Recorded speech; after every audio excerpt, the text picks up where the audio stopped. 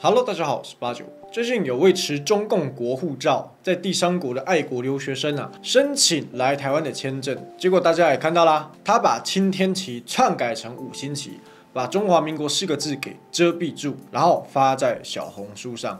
来看一下他下面的文章写了些什么哈，不知道把这样的露台证还能用吗？首先这个文法就很奇怪了嘛，好。把上面的青天旗改成五星红旗国旗打出来的露台证，不知道进海，不知道进台湾海关会不会被卡，哈哈哈哈！有没有一起试试的小伙伴？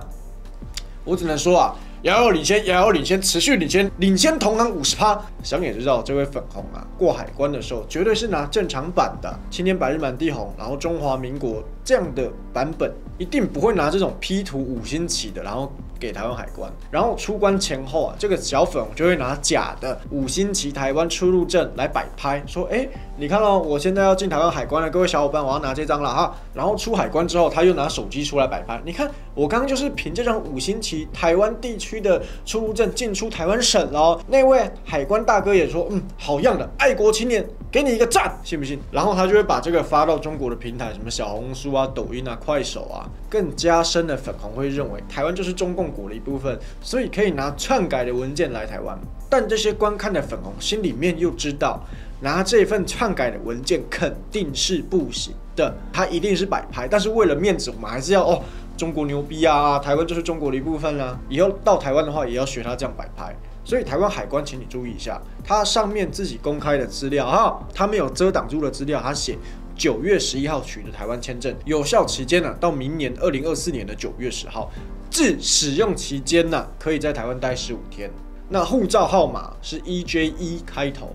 出生地啊，应该是云南省啦。我看这个笔画被遮蔽的那一个，不太像“海”这个字，反而像简体字的“云”。它的住宿位置还是在台北的 W Hotel，所以小红书先关注起来，I N V I S I A A R O N。到时候看他是否真的造谣说，哎，我拿了这份文件可以通过台湾的海关入境。如果是的话，请台湾海关处理一下。他是不是真的拿这份文件？你们让他过了，想也知道不是嘛。如果不是的话，你是不是要告他造谣、诋毁台湾海关的名誉？因为你们不出来解释，不去逮捕他的话，那这样是不是任何国家的人都可以拿篡改的护照、篡改的文件出入境？是每个国家都很重视的事情。那相信我。这支爱国留学生呢，他即便到了台湾，也一定是回第三国或是回他的祖国之后，他才敢发文，因为他怕被警方调查约谈。你是不是疑似使用这个篡改的文件呢？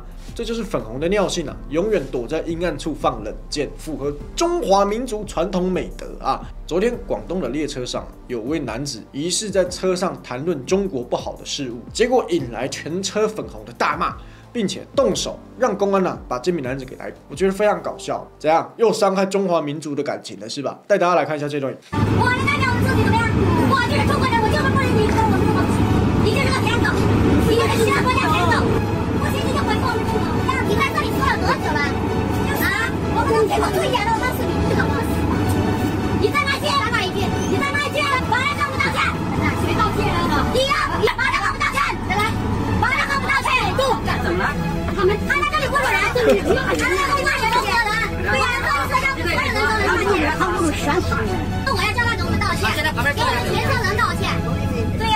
好，我们都看完影片了，但是你们知道究竟这位男子骂了什么吗？影片的上传者啊，甚至不敢把前面的影片给剪出来，让观众一头雾水。所以他到底骂了什么？到底是什么话伤害了绿皮火车的中华民族感情呢？而且动手了，竟然没有被警察带走。连客观事实的手机录影下来，哎，这个动作警察也哎没有啊，他没有做啊，他们在说谎，我知道你在说谎，我们都知道我们在说谎，但我们还是继续选择说谎。贵国的风气嘛，被带走的是这名男子，而这还一度冲上微博的前十热搜啊，真的是非常搞笑。带大家来看一些中国网友的留言啊，谁说女子不如男，女人也能顶天立地，敬佩致敬。他去帮你们打额爹，拿回这个被侵略的领土了吗？还是这名女子推翻了共产党，让中国可以有欧美国家、台湾国家、日本、韩国那样的福利给你们。对，这样吃中国饭、砸中国碗的人必须严惩不贷。列车员做的不对，不道歉不能让他走，应该依法处处理，不应该处理动手的人吗？姐姐威武霸气，姐姐威武，果然是罗刹国哎，什么都得倒着看。不管什么时候，我们都不能丢了我们中国人骨子里的血性。姐姐好棒，这人应该好好查查。我想知道这男子说了什么，说什么重要吗？这样的人是汉汉奸吗？太棒了！希望抖音和警察一起把抖音上的舔狗给抓起来。法源依据在哪？建议查一查，说不定是行走的五十万。列车员和警察遇到这种人，不应该和稀泥，应该态度明朗，站在有理群众的一方。对，带到警务室狠狠修理一顿。看了这个刘勇，真的觉得非常可怕。罗刹国，哎，这些人都法盲的，还是让这帮人给中共国际去统治好了，没救了。不要放到民主国家，很可怕了。我们不要再试图从老鼠屎里面挑白粥了，很累啊。有些粉红说什么这名男子疑似说中国人都是十二生肖最后一只的动物，但我始终找不到影片。好啦，先假设他真的有这样讲好了啦，但我更相信这名男子讲的应该是中国哪不好，外国哪比较好，中国应该怎么样跟外国学习之类的啦，这样的观点的。言论，但不管如何，你只要讲中国不好，就是伤害中华民族感情，对吧？你讲华为不好，也是伤害中华民族感情。那按你们这种道理来说的话，全世界的人，全世界正常国家的人民，天天都在伤害自己国家人民的感情。台湾政府，我觉得你有些政策做不好，哎，哦，你伤害台湾人的感情。美国政府，你有一些政策做的不好，哈，你伤害美国人的感情。你有看到其他国家的人这样子吗？自己国人批判自己国家，这是很稀松平常的事情。但在你们的眼里，就是哦，批评了中共，中国共产党等于批判了全中国，批判了全中共等于批判到了我，批判到了我，哎，我就跟你骂爹骂娘。他这个言论犯了什么罪？中国的那个宪法啊，秦刚拿的那一本，虽然他现在不见，翻一下，你们翻给我看，他侮辱特定人士了吗？他侮辱谁了？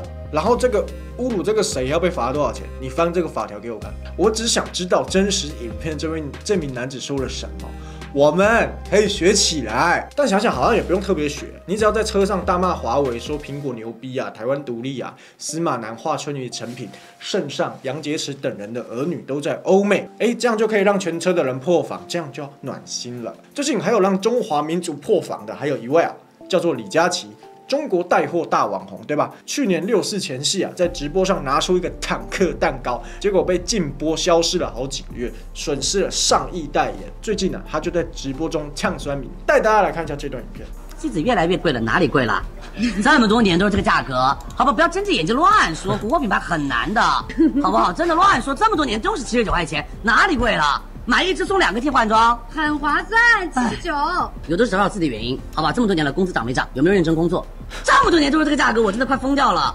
好了，换算一下，他卖的这支眉笔大概是三百五十块台币。我不太知道这种东西的平均价位落在哪里啊，但我本身知道，越火的牌子推出的化妆品或是保养品啊，越贵。那我非常纳闷，粉红不是天天在吹中国人月入好几万？还吹什么中国应届大学生毕业起薪是八千到一万人民币？你在哪个平行时空啊？绝大部分的中国就是三五六千而已啦。你去问深圳那些端盘子的星巴克的，去问那些坐办公室的会计啊，去问那些。月薪多少啦？台湾是缺工哎，中国是失业率高，失业率高的情况下，你薪水还比中国国务院统计的平均薪水跟中位数薪水高，你在搞笑吧？一堆打螺丝的时薪都十几块，最惨的有到四块钱的，我们影片都曝光过，一堆人抢破头要去做啊！中国一堆餐厅月入就是三五千的，你是减刑犯留言是吗？所以我们回到李佳琦说的，三百五十块台台币没有很贵，一直都是这个价格。但为什么会让他退粉将近百万呢？因为这句话戳中伤害很多人的感情。贵国人平均收入就是没有粉红吹的高啊！再来，大部分会在直播中买小礼物的。我再强调一次啊，大部分不是全部，肯定也是收入没有很高，所以他买的时候要一直去专柜嘛，所以才会去直播嘛，抢购看有没有额外的福利。直播也是薄利多销的观念，对吧？所以李佳琦说出这个话，让很多人破防，我觉得也没什么好破防的啦。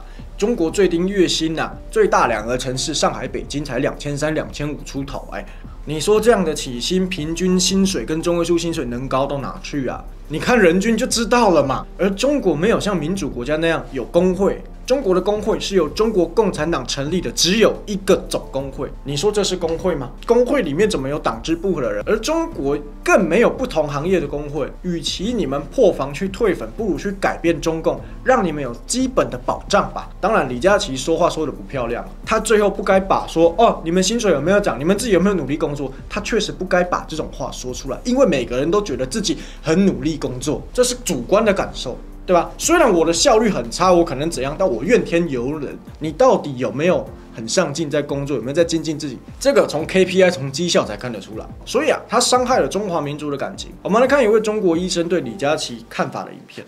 李佳琦先生，让我们检讨一下这几年的薪资为什么没有涨。我呢也反思了一下，我上个月开了近八十台手术，门诊呢大约有四百多个病人，工资和奖金呢加起来大概四万出头些，平均每台手术的收入呢低于五百块钱，估计呢比上海滩顶级的托尼老师理个发的收入还要稍微低一些，还是没能改变那么多年拿手术刀的不如拿剃头刀的这样的一个残酷的现实。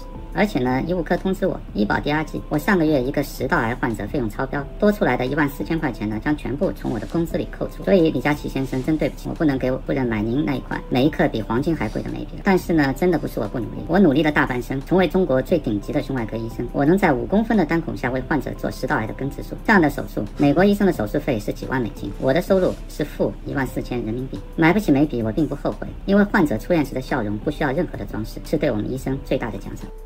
抖音，好，我们看完了这个影片，我们回忆一下刚刚看的那个在列车上大骂，你不准说中国不好。你一直舔外国，你就是伤害我们中国人的感情。请问这个医生有没有伤害中国人的感情？我在中国薪水就这样，但是在美国一个外科医生，一个医生做一个手术，哇，好几万美金呐！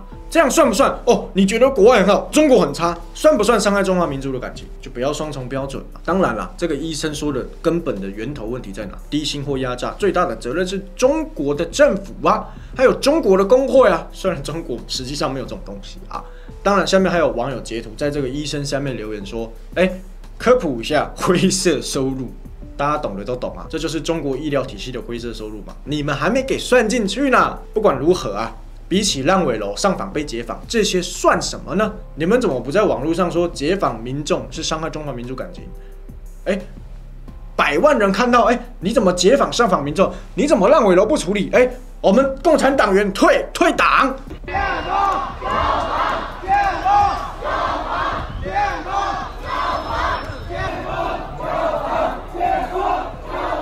我是重庆市南岸区广安镇大福村的村民周群啊，这些啊都是非法限制我人身自由的。